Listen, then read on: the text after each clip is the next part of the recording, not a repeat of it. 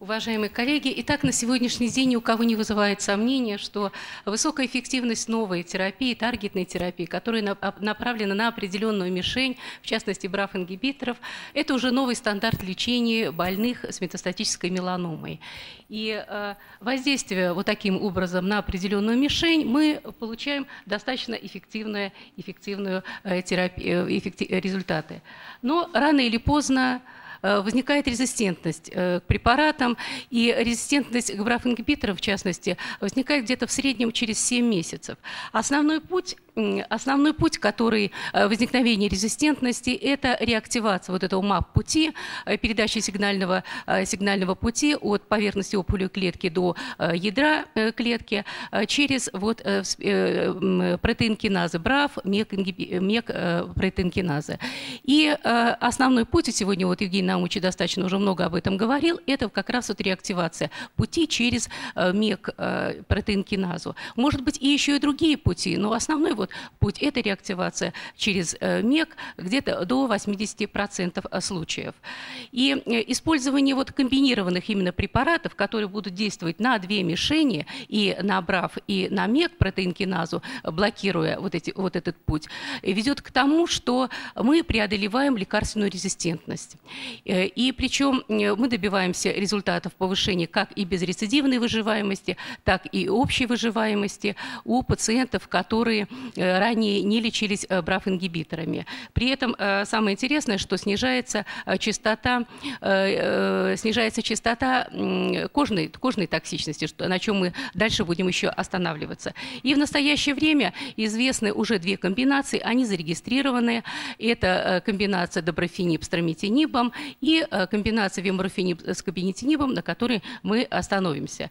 Очень интересный вот этот слайд, обратите внимание, который свидетельствует о том, что если, длить, э, если длительно применяются БРАФ-ингибиторы в монорежиме, то уже через 4 э, недели можно отметить появление резистентности, лекарственной резистентности и появление, появление опухолевых клеток. А когда используется комбинированная терапия, то эффект этот, эффект, э, эффект, э, эффективность э, лечения, она более продолжительна, и мы избегаем лекарственной резистентности. Итак, на сегодняшний день э, два больших крупных исследования, они еще э, продолжаются, оцениваются их, эффектив, их, э, их результаты. Это БРИМ-7 исследование и КОБРИМ. И на этом слайде представлены уже обновленные данные, на АСКО 2000 этого года были представлены. БРИМ-7 – это исследование первой Б-фазы. Это исследование, оно немногочисленное. Сюда вошли пациенты, уже получавшие ранее лечение. Одна группа, которая пациенты получали уже БРАФ-ингибиторы, а другая группа пациентов не получали э, БРАФ-ингибиторы. И э, данное исследование, оно предусматривало э, безопасность препарата. И тем не менее, даже уже на первой фазе можно оценить эффективность. Чуть позже мы остановимся на результатах. А и второе исследование – это КОБРИМ, стандартное исследование, исследование в третьей фазы, когда сравнивается комбинированное лечение с монотерапией. России. Итак, исследование э, БРИМ-7.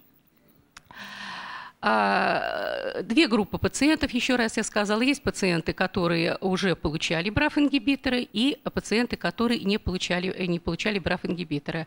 Они э, э, на первой фазе отрабатывают, отрабатывают, э, отрабатывается э, дозировка препаратов. И как видите, здесь э, представлена безрецидивная выживаемость. Посмотрите, безрецидивная выживаемость при первой фазе исследования, она превышает, э, превышает год, 13, почти 14 14 месяцев.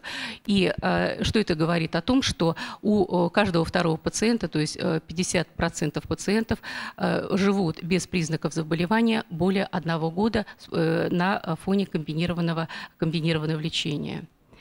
Если говорить об общей выживаемости, здесь результаты достаточно тоже внушительные. Если вот э, в 2015 году на АСКО прозвучала цифра 28,5 э, месяцев, то последние вот данные 2016 года уже э, почти 2,5 года, 31 месяц, общая выживаемость у пациентов, у пациентов на первой фазе. А еще раз хочу подчеркнуть, что это пациенты, которые, в принципе, уже лечены другими режимами лекарственных длительной терапии у них можно добиться общей выживаемости, медиана выживаемости более 2,5 лет. И какие же результаты, какие же результаты были получены при длительном наблюдении? Как видите, трехлетняя выживаемость пациентов достигла 37%. Это вот последние, последние данные АСКО 2016 года. Если говорить о той группе пациентов, которые уже получали БРАФ-ингибиторы в этом исследовании, то, как видите, объективные ответы, они достаточно невысоки, всего 15%. Если же обратиться к группе пациентов, э, которые которые не получали БРАФ-ингибиторы. Э, на прошлом, на прошлом э, АСКО прозвучала цифра 87%, и эта же цифра и в 2016 году осталась, а полные ответы наблюдаются у, у пятой части пациентов. Достаточно высокая, конечно, цифра. Следующее исследование – это КОБРИМ. КОБРИМ исследование – это третьей фазы, э, когда сравниваются уже стандартные, стандартная э, монотерапия виморфенибом и комбинированная терапия кабинетиниба и виморфениба. Дизайн исследования был достаточно простой, исследование было достаточно э, многочисленное, оно скринировано, как видите, больше тысячи пациентов и рандомизировано около полутысячи пациентов. И, опять же, э, это исследование, как и предыдущее исследование, показало преимущество применения комбинированного лечения по сравнению с монотерапией. Как видите, э, тоже э, больше одного года, у каждого второго пациента более одного года отсутствуют признаки заболевания. 12 месяцев пациенты, пациенты живут без прогрессирования заболевания достаточно, достаточно большой, большой срок. Если говорить об общей выживаемости, здесь цифры а, также достаточно высокие. А, комбинированная терапия способствует увеличению общей выживаемости до 22 месяцев. И э, вы знаете, что существуют определенные группы э, прогноза и э, определенные прогностические факторы, на которые клиницисты стали обращать внимание в последнее время, особенно вот такой фактор, как ЛДГ. При повышенном уровне ЛДГ, как вы знаете, это неблагоприятный прогностический фактор, как правило, он коррелирует с невысокими показателями безрецидивной выживаемости и общей выживаемости. Ну вот, а здесь вот на этом слайде показано, какова общая выживаемость э, в группе пациентов, у которых нормальный уровень, у которых нормальный уровень ЛДГ. Как видите, медиана не достигнута э, у пациентов, э, которые получают комбинированное лечение, а те пациенты, которые получали монотерапию, у них общая выживаемость достаточно тоже высока, она равняется почти двум годам равняется. И э, следует сказать, что вот встает вопрос, э, чисто уже практически, наверное, а стоит пациентам наблюдать, э, назначать комбинированную терапию и монотерапию вимрофенибом и браф-ингибиторами э, э, другого вида, доброфениб, если у них повышенный ЛДГ. Так вот, на этом слайде достаточно красноречиво показано, что препарат работает и у пациентов, и э, при, повышенных, э, при повышенных показателях ЛДГ. Поэтому, наверное, у этих-то пациентов, как как раз есть тот шанс получить ответ а, э, от э, применения, э, применения а, данных, данных препаратов, нежели получая химиотерапию. И а, подводя итоги, можем сказать, что частота ответа при иммунотерапии равняется 50%, медиана безрецидивной выживаемости, она чуть больше а, э, полугода, э, полугода да, общая, общая выживаемость медиана равняется 17 а, месяцев. Если же мы применяем комбинированное лечение, то эффективность повышается до 70%, медиана безрецидивной выживаемости уже достигает более года, и медиана общей выживаемости приближается приближается к двум годам. Ну, достаточно красноречиво показано, что, конечно, безусловно, комбинированное лечение более эффективно, чем монотерапия. Но насколько профиль безопасности э, э, э, интересен нам и какие здесь имеются преимущества? Ну вот если вот посмотрим на этот слайд, достаточно красноречиво показывает, показывает что профиль токсичности, во-первых, он достаточно изучен, и применяя комбинированное комбинированное лечение ингибиторов БРАФ и МЕК-ингибиторов, мы избегаем, например, кожной токсичности. Несколько позже мы остановимся на этом. И говоря о, суммируя вот данные по безопасности, можно сказать, что любой препарат цитостатический или таргетная терапия практически всегда имеет ту или иную токсичность. Так вот, и таргетные препараты, БРАФ-ингибиторы и МЕК-ингибиторы, они, как видите, имеют тоже э, практически у всех пациентов и наблюдается тот или иной вид токсичности. 98% в каждой группе у пациентов. Вот осложнение э, третьей степени и более наблюдается у более половины пациентов. И доктор, который начинает э, лечение пациентов с новыми вот этими препаратами, таргетными препаратами, БРАФ-ингибиторами, МЕК-ингибиторами, конечно, должен быть достаточно быть осведомлен о возможных осложнениях и предупредить об этом пациентов. Как видите, серьезные негативные явления могут наблюдаться у четверти до трети пациентов. И, а, а вот а, те негативные явления, которые ведут уже к отмене препаратов, они наблюдаются где-то в 12-13% случаев. Какие же осложнения, как видите, если мы применяем комбинированное лечение, чаще всего наблюдается диарея, э, сохраняется фотосенсибилизация, которая наблюдается и при э, применении э, БРАФ-ингибиторов, но еще появляется тошнота, рвота, повышение, может быть, уровня трансаминаз. А вот виморофинип уже, наверное, многие все-таки доктора, я надеюсь, применяли его в клинической практике, кроме кожной токсичности, появления плоскоклеточных карцином, кератокантом, еще артралгии, аллопеция. И, как видите, третья, э, третья и четвертая степень практически одинаково наблюдаются с одинаковой частотой, что при монорежиме, что при комбинированном э, использовании. И самое интересное, что появление негативных явлений, нежелательных явлений, оно чаще всего появляется в первые 28 дней. И э, э, вот э, когда оценивали э, вот эти негативные явления в клинических исследованиях, как правило, в 80% случаев они уже э, были купированы. И вот на этом слайде достаточно красочно э, показано, что появление этих негативных явлений приходится как раз на первый месяц лечения, и потом они уходят на нет. То есть есть, конечно, информация как доктора и так и врача э, э, может э, приводить к тому, что достаточно своевременно будет оказана помощь пациенту и достигнуты неплохие результаты. Таким образом, используя комбинированное лечение, мы достигаем не только быстрый противоопухолевый эффект, но и достигаем повышения безрецидивной общей выживаемости, мы влияем на замедление процессов резистентности, и при этом уменьшается кожная токсичность.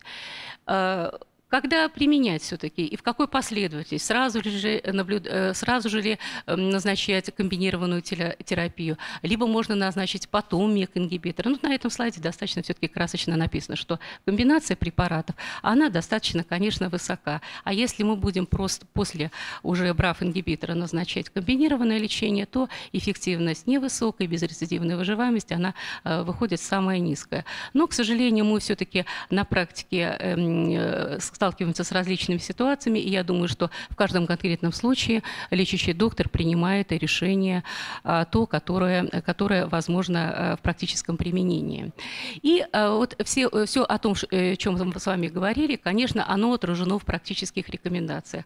Во-первых, и в рекомендациях РУСКО освещено, что назначение, одновременное назначение ингибиторов БРАФ и МЕК-ингибиторов приводит к улучшению результатов лечения. Эти же постулаты результаты отображены и в рекомендации NCCN, NCCN и а, эти же рекомендации, а, этим же рекомендациям следует, конечно, и европейское общество, что именно использование комбинированного лечения приводит к улучшению, э, к улучшению непосредственных результатов лечения. Таким образом, э, подведя итоги, можно сказать, что, безусловно, мы живем в эру новых, э, новых изменений в лечении больных с метастатической меланомой. И именно комбинированное лечение двух препаратов, это БРАФ-ингибиторы и МЕК-ингибиторов, они демонстрируют наибольшую эффективность. И э, использование вот этой комбинации позволяет достичь максимального ответа, э, почти до 90% э, объективные ответы, и у каждого второго пациента рецидив заболевания не возникает в течение года. Таким образом, вот эта комбинация, конечно, может послужить уже новым стандартом в лечении, и она принципиально меняет прогноз больных с метастатической меланомой, больных, которые мы считали раньше инкурабельными. Спасибо большое. Спасибо большое, Светлана Анатольевна. Я вот хочу задать вам такой вопрос. А, упомянута цифра в 37% э, на 36 э, месяцах как показатель достижения. А, как вы считаете, может эта цифра удержаться и закрепиться, выйдя на некая плата, как мы знаем, как с есть... А? Как с эпилимумабом. Да, как вы считаете?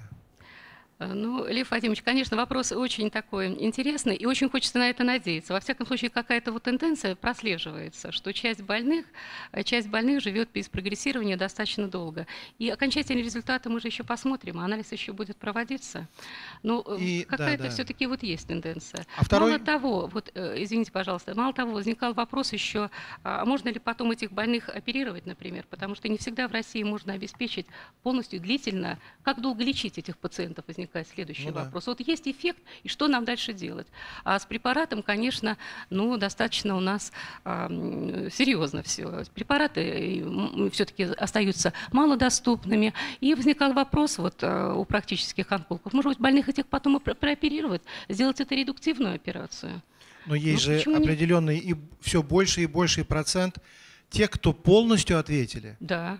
Начиналось да. все со скромных 5%, да, а сейчас да. уже в пределах 15%. Да, да, а что с ними-то делать, если вот человек попадает в группу полной излеченности. Мы совершенно этого не знаем. Не знаем, но обсуждался вот вопрос и на иностранных конференциях. Кто-то предлагает 6 месяцев еще больных лечить, 3 месяца, но этого действительно никто не знает. Мы эти препараты держим в руках всего 5 лет. Мне кажется, если наши пациенты будут достигать полной ремиссии, то мы можем быть пионерами, чтобы остановиться и не лечить, потому что за рубежом, скорее всего, будут продолжать и продолжать. Светлана Анатольевна, спасибо большое за доклад. Скажите, пожалуйста, как вы считаете, вот у нас сейчас появился ингибитор МЕК, он скоро станет доступен, и у нас есть часть пациентов, которые уже получают ингибитор БРАВ, э, веморофенип, и не прогрессируют на нем. Нужно ли им добавлять каталик или не нужно? Да, уважаемая, Кристина Вячеславовна, опять же, вопрос чисто практический, конечно. Мы живем в Российской Федерации. И, конечно, наши больные, когда слышат, что они могут получить эффективный препарат, наверное, трудно их разуверить. Поэтому здесь встает еще очень много вопросов, наверное, этического характера. Хотя исследования показали, что если есть эффект, можно и не добавлять. И эффективность, она не, не, не, при, не прибавит очень большой разницы. Но поэтому в каждом конкретном случае, наверное, мы все-таки обговариваем. Оговариваем, и у нас есть такие пациенты. И когда появляется возможность, это очень, конечно, ну, эм, интересно, стоит, не стоит. Но пока на сегодняшний день говорят, что лучше комбинированно сразу назначить терапию. Ну да, потом. но исходя из наших условий, если он хорошо отвечает на один препарат, то не надо от добра добра искать, правда? Ну, наверное. Ну, давайте наверное, откровенно. Наверное, наверное. Да. Ну, это сложно, это очень сложная, безусловно, дискуссия. Спасибо, Светлана Анатольевна. Присаживайтесь, пожалуйста.